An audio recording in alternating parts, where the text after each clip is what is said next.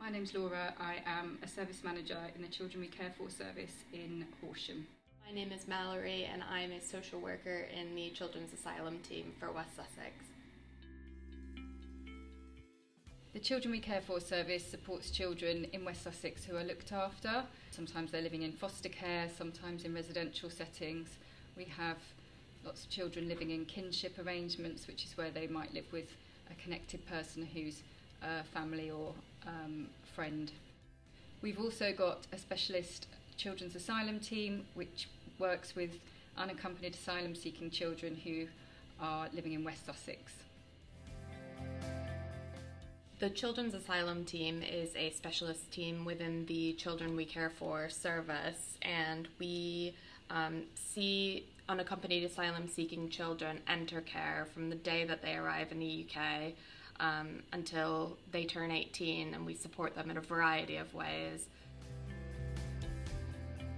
There isn't really a typical day in our service. Um, it, you could face anything really. Um, you might have a visit booked in where you get to go do a bit of really lovely direct work with children. Sometimes you're attending statutory meetings like um, Children We Care For review meetings.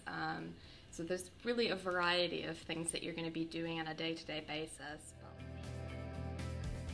We recently had an Ofsted inspection and our service was rated good and that was because um, some of the things that the inspectors highlighted were that we really work with our asylum seeking children in a, in a very trauma sensitive way. We um, do some really good direct work with children to make sure that they feel cared for and supported. And we really do make sure that the child's voice is central to our approach. We'd love people to come and join the team.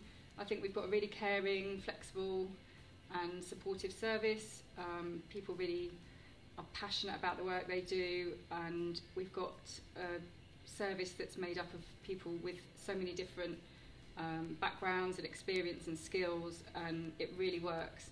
I agree. I think if you want to come and work for the team, which everybody should, you're supporting people who've not had voices, um, whether they've had their voices taken away by, you know, whatever. You really are their voice and it's so important.